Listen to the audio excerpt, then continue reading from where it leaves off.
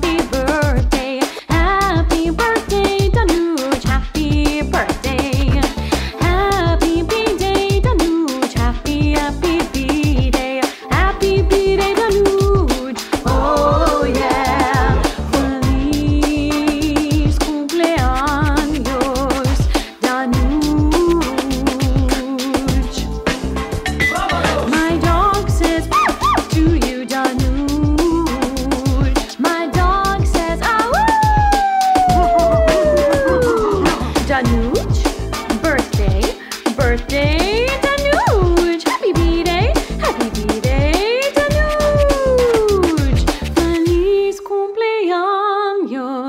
Nuge, yeah.